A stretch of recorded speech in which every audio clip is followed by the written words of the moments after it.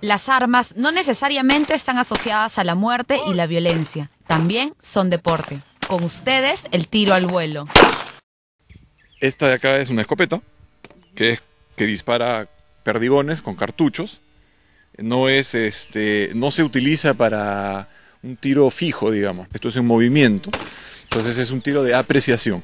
Y tú, tú le disparas a un platillo que vuela, eh, que es de color naranja, del tamaño de un cenicero, más o menos eh, hecho de brea con tiza. Entonces tú pides el platillo, apuntas y le disparas. En una competencia se sueltan 125 platillos en total. Para lograr su clasificación a los Juegos Olímpicos, Marco Matellini se bajó 120 en el último Panamericano de Río. Estuvimos ahora en marzo, en, en las mismas canchas donde se va a disparar en los Juegos, para justamente conocer, para ambientarnos y conocer las canchas y van a ser unas Olimpiadas muy bien organizadas. Por lo menos en, en mi deporte estuvo todo muy bien. Nosotros estamos como objetivo quedar entre los 15, 10 primeros, que ya es algo muy importante. Creo yo que acá están las últimas medallas de dos años nomás.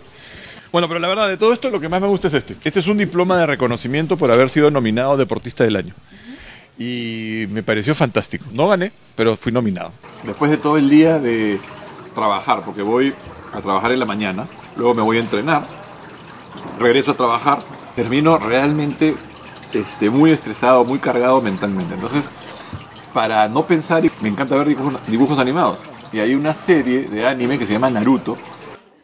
No sé si es bueno decir que entre trabajo también veo, pero este. Así me distraigo. Ahí está Naruto. Ese es Naruto. Este es el episodio 60 de Shippuden. O sea, son las nuevas, cuando Naruto ya creció. De chiquito veía Ultra 7, Ultraman, las primeras aventuras de Spider-Man, Superman. Salía al patio después de mi casa a jugar y me imaginaba que había malos y yo disparaba por todos lados. Ahora en febrero fuimos a un sudamericano a Brasil. El equipo consta de tres personas. Y un chico de 13 años, eh, Nicolás Pacheco, nos acompañó y él iba a disparar el junior. En mayores nos faltaba una persona para hacer equipo, entonces dijimos, bueno, vamos a hacer que el chico haga equipo con nosotros. Y ganamos el sudamericano. Eso me dio a la federación en reconocimiento por batir el récord sudamericano, que es que un niño de 13 años eh, gana eh, participando en un equipo de mayores. Ya no, no podemos ir con equipo juvenil porque acá en el Perú no hay juveniles.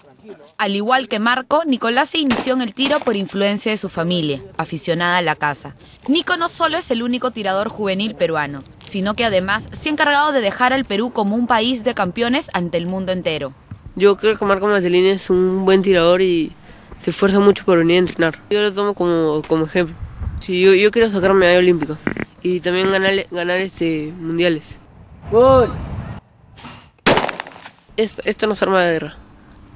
Porque en las armas de guerra son fusiles. Y esto es una escopeta. Esto si te, si te cae para matar, tienen que caerte a 10 metros. ¿Por, ¿Para qué vas a matar a alguien? Muchos piensan que tener un arma es súper bacán, suave, no hay que confundir. Esto es parte de un deporte y como tal hay reglas. No porque uno deportivamente utilice el arma, cree- se puede utilizar haciendo más.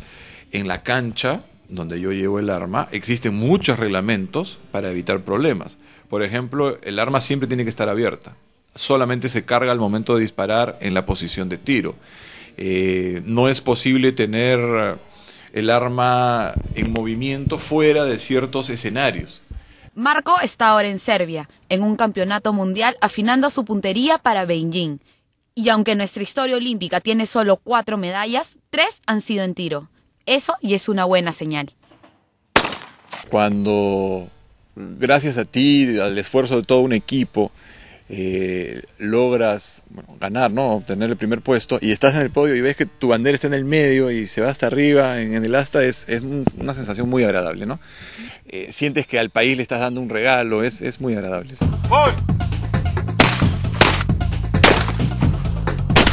¡Gol!